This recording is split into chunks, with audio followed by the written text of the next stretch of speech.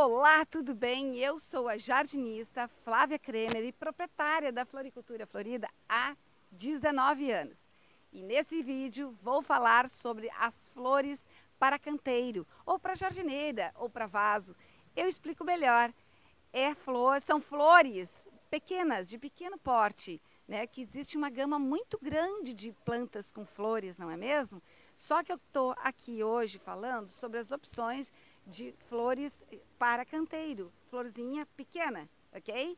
Se você quiser saber um pouco sobre esse, as flores, sobre essas flores, a gente corta esse pedaço? essas flores para canteiros, que são essas, eu, então me acompanha que esse vídeo eu fiz para você.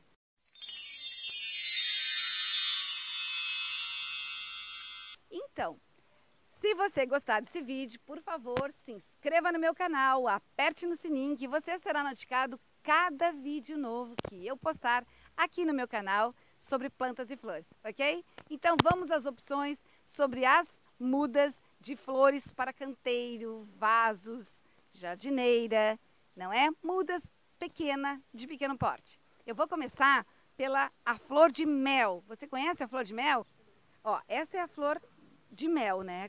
Com um cheirinho encantador. Se o vídeo pudesse traduzir o cheirinho que está aqui agora, nossa, é encantador, é bem cheirinho de mel, é a Alisson, né? Alisson.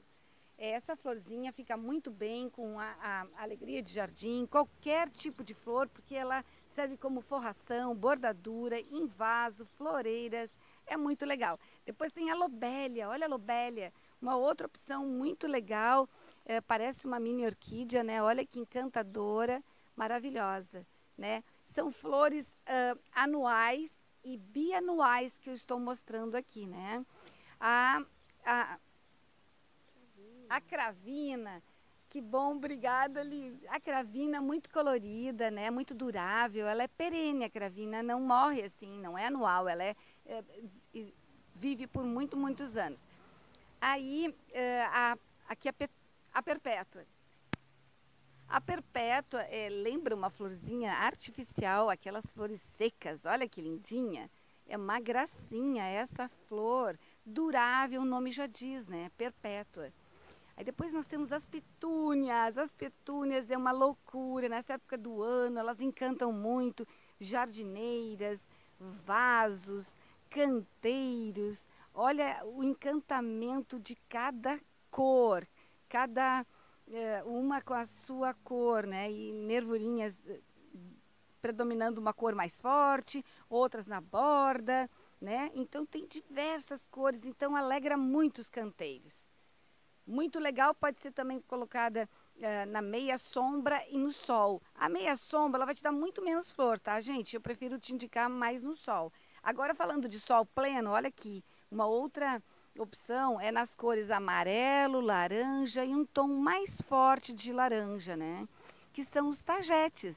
Os tagetes ou o cravo do amor. É muito utilizado em parques, porque é uma, é uma florzinha de grande durabilidade e requer poucos cuidados. De vez em quando, uma aguinha é, é o suficiente para ela resistir linda e maravilhosa.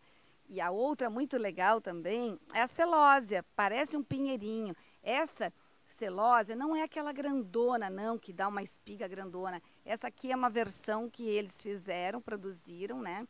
Para serem canteiros e elas não têm uma altura muito maior do que 50, 60 centímetros de altura. Não ultrapassa isso, certo? Que a gente tem a torênia. Torênia com essa gama aí de, flor, de, de cores dentro do rosa, é, com o miolo amarelinho, é, o roxo, né? Tem uma pinta amarela, tem branca também, tá? Tem branca também. Ela é bem verão, amor perfeito de verão é conhecida. Vamos passar agora para gazânia. Olha a gazânia, lembra uma margarida, né? E eu acho que ali nós temos umas mais abertas, mais colorida.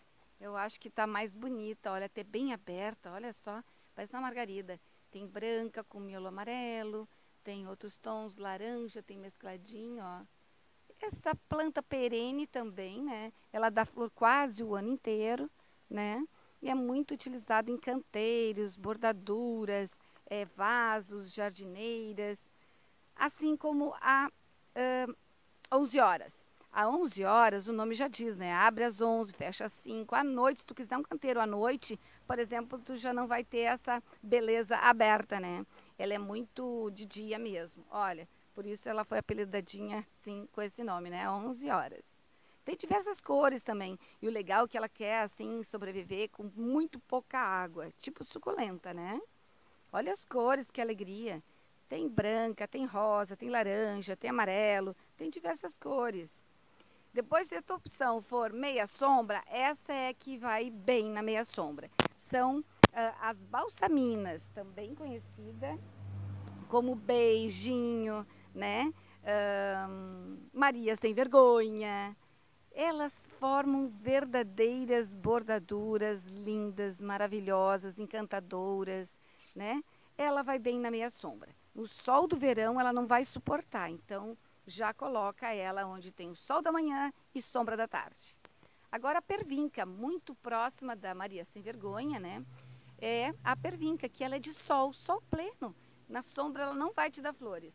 Ela fica longa, feia, não fica muito bonita não. É, então você coloca a sua pervinca no sol, a pleno sol, com poucos cuidados, ela vai te dar muitas flores. Certo?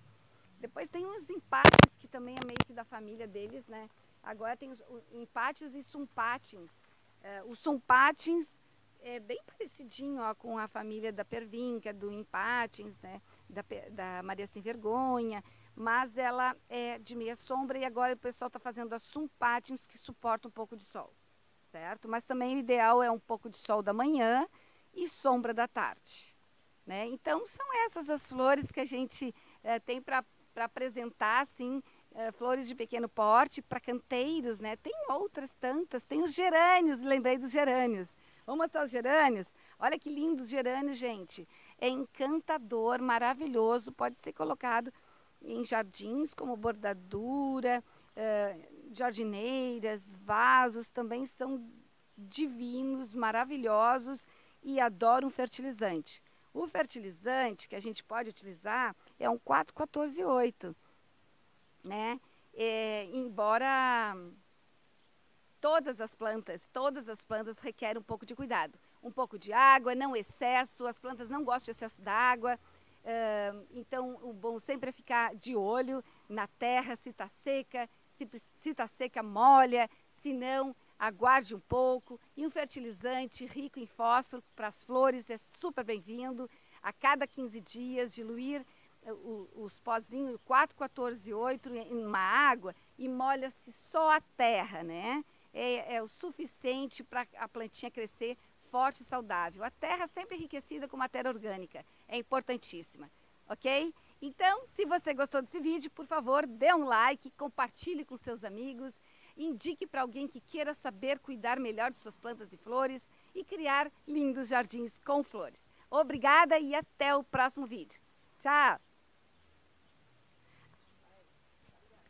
Ah, lembrei de uma coisa muito importante para você que quer cuidar melhor de suas plantas e flores. Eu elaborei um e-book muito, muito uh, completo, uh, os cuidados, as quatro estações do ano, e como você pode manter suas plantas lindas e saudáveis e deixar de perder essas plantas, não é? Então, basta você clicar no link aqui embaixo na descrição desse vídeo e você pode adquirir o meu e-book, ok? Muito obrigada!